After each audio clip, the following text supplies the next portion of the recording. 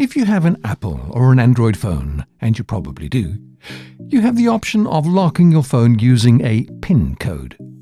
With most of these phones, you can choose either a 4-digit PIN or a 6-digit PIN. You might think that a 6-digit PIN will be more secure, since there are more possible number combinations. But it turns out that it really isn't, because we are so predictable with how we choose our PINs.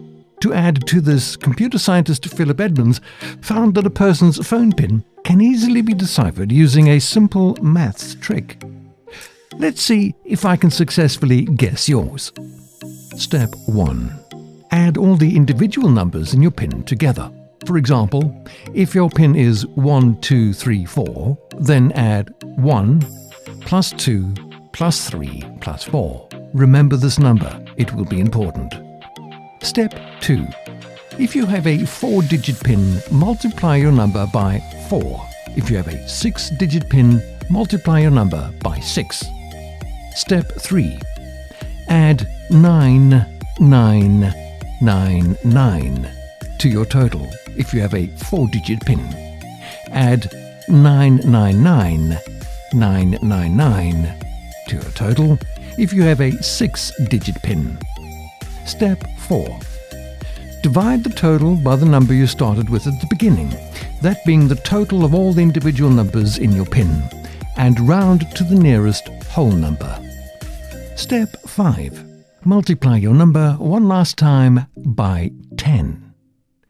Now look closely at the remaining total. Look even closer. Look again. Notice something? Well, probably not. But you should probably check the date that this video was uploaded on. Happy April Fool's Day! Leave a like on this video if you're a good sport, and send this video to your friends right now to prank them, who you'll need a little laugh during these trying times. In all seriousness though, are you one of the 26% of people who use some of the most commonly used PIN codes to unlock their phones? If so, there's a good chance that if your phone is stolen or lost, criminals could get into your phone within their first few attempts, even without knowing anything about you. If they're able to get into your device, they'll be able to look through your personal data and information. So try to make sure you make your passwords unique and secure. Avoid using your birthday or any anniversary also. Don't be like Kanye.